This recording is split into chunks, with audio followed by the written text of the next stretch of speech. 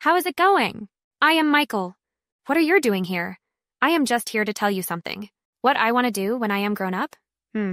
I might show folks like you how to build virtual influencers for social media. And how such a video came about, I'll show you now in this screencast. This is a combination of many different tools that come into play here. First, a tool that can animate characters, then a custom GPT for creating consistent characters, and a very efficient workflow for Midjourney to reproduce it over and over. Then a synthetic voice is added, and in the end, a photo becomes an avatar. Instead of people, backgrounds can then also be animated, and then you can combine that with the character in the foreground. I started with ChatGPT with a custom GPT for consistent character. With it, you can create a character in a chat that then looks the same in all photos. And that's exactly what I need for the videos. First, I have to decide whether my character should be male or female. Then, I give my character a name. And then I have to reveal a bit about how I imagine my character later. I want, in my example, for this little 10-year-old boy to want to become a locomotive driver later and to carry this dream deep within him. For this, I first asked ChatGPT what a train driver is dressed like, what accessories they have, and what collectibles they would have in their room. And then I imagined what such a person would look like as a little boy. Next, I tell this custom GPT whether my character should be drawn or photographed. Is it an animation? Is it a photograph? Is it a very flat illustration? Or is it an anime character? And then I already get the first draft, in this case of my 10-year-old locomotive driver, Tim. However, I can also decide to design a young girl here as a character instead of my 10-year-old Tim. Then I have to adjust the prompt accordingly. And the result looks like this. So that I can later build a consistent character as an avatar, I now have to make sure, for example, that I have different facial expressions, different bodies, poses, and different ways of expressing this character. And after a few such prompts, I then get these pictures that all depict the same character, however, in different expressions. And then I can train the AI from Midjourney with these images. To do this, I just upload all the images I just got directly to Discord, to now be able to work with Midjourney. Next, I can define a preset from these images that I want to use over and over again with options.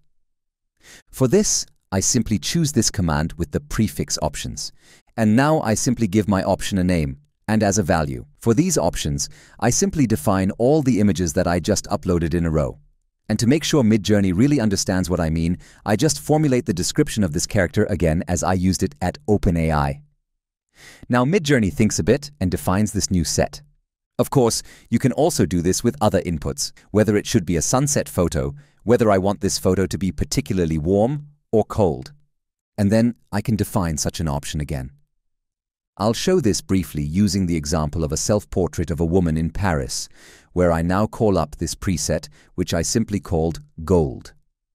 And this Gold preset ultimately only calls the functions that I wanted to photograph it with a Nikon camera, with a 58mm lens, with natural light, and with very warm tones. So that I don't always have to rewrite this, I can define it as a set. And the same thing I can now do with my Emilia. The same prompt, a self-portrait of a woman in Paris, but this time with the preset Emilia. Here we now see Emilia as a selfie in Paris. And with this recipe, I can now build many scenes that I want to use over and over again, showing a very consistent figure. I can also edit the photos further in another software to make another photo from it that I now want to animate again. And for this, I use a tool called Runway ML with which I can now make a video from a static image. There is a function called Motion Brush, and with it, I can now mask individual areas in this photo, mark them, and then define a movement, and can then bring these areas to life from this image or from this animation. It's very important that the brush strokes must be very, very thin. If I mark too large an area at once, it will look very unnatural. The smaller the brush strokes, the better you can do it.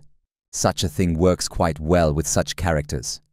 But I use it more for background images, like here this animation of a server room, also just a static image. I want to animate a bit.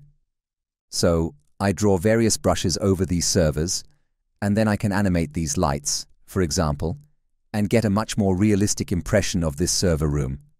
and I can now use that as a background layer for a video. Another way to bring my character to life is the platform HeyGen. There I can now create a photo avatar, for example. Unfortunately, it doesn't always work equally well currently. If I upload my Emilia right now, for example, the tool tells me upload failed. No face recognized. With other figures it has worked quite well for me. You always have to try a bit. I'll upload this figure as a photo avatar now. And now I can also say during the upload which voice this person should have in the future. And male children often have a woman's voice in cartoons. That's why I looked for a suitable woman's voice at Eleven Labs of a young American woman to give this young man. And now I can define a background image here. I could now take my animated server room or this background image and just define it here. And now I'll make the little boy a bit bigger because the less the legs move and the less the arms move, the more natural this movement will appear. Because he will now not dance around in this room. In the last step, I give him the text and listen to it over and over again, and it should be written phonetically so that it sounds like spoken language, and then a few seconds later, you have this result. Hey there! How is it going? I am Michael. What are you doing here? I am just here to tell you something. What I want to do when I am grown up? Hmm. I might show folks like you how to build virtual influencers for social media.